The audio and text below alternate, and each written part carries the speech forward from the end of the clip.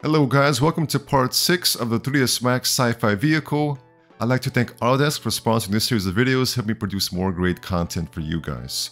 So in this video guys, I'm just going to show you some work. It will be less of me talking and more of me just showing you how you can use Smart Extrude because essentially guys, I'm trying to show you how to do several weeks of work in just a few hours.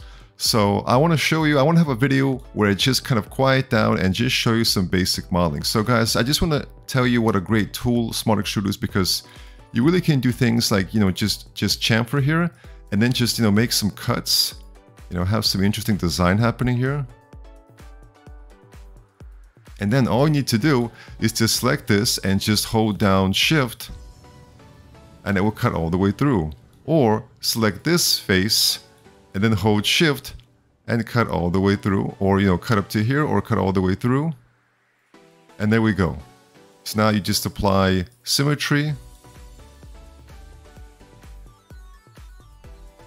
All right I will delete the right half retopology enter in a lower value here. I like to turn off pre-processed mesh because I find it gives better results.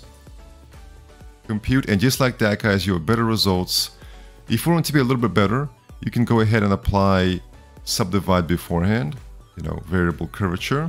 And then when you apply retopology, maybe use a little bit of a higher value as well. You now get pretty much perfect results and now you're ready for creasing or support loops or everything else. So guys, this is a fantastic workflow. Let's go ahead and continue.